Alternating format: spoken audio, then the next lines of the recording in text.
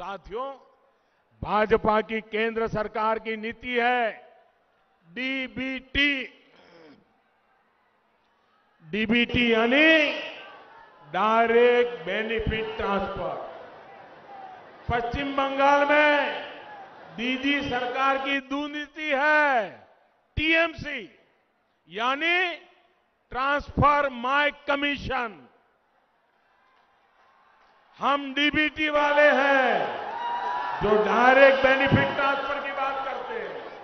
वो TMC transfer my commission में ही डूबे हुए यहाँ आयुष्मान योजना क्यों नहीं लागू हुई?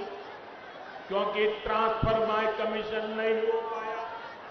यहाँ किसानों के बैंक खातों में हज़ारों रुपए जाने से क्यों रोक दिया गया? क्योंकि ट्रांसफ़र माय कमीशन नहीं हो पाया। अब आप ही बताइए साथियों, पश्चिम बंगाल में भाजपा सरकार चाहिए कि नहीं चाहिए?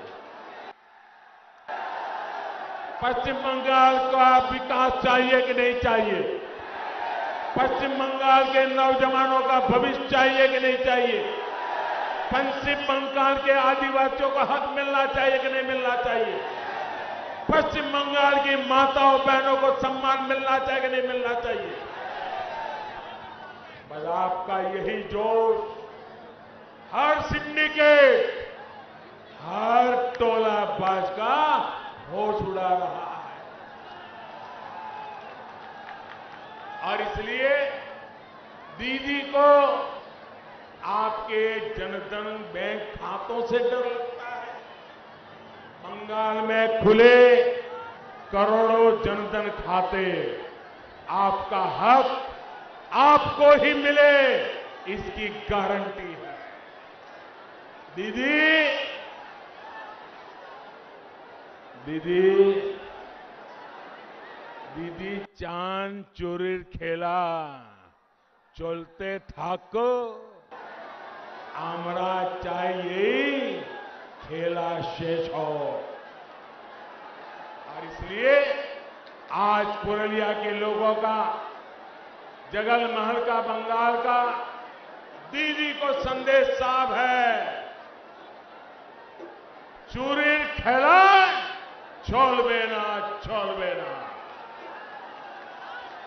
मेरे साथ बोलिए चूरीर खेला चोलबे ना चोलबे ना चूरीर खेला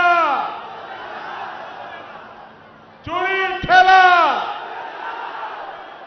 चूरीर खेला अरे दोनों हाथ ऊपर करके पूरी ताकत से बोलिए चूरीर खेला। चूरीर खेला। साथियों, आपकी एक गर्जना बताती है कि दीदी सरकार जाने का काउंटडाउन शुरू हो चुका है।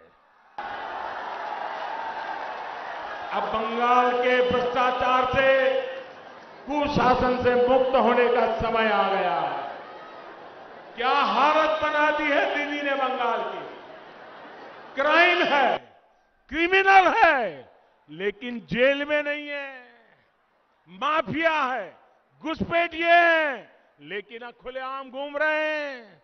सिंडिकेट है, स्कैम है, लेकिन कार्रवाई नहीं होती है।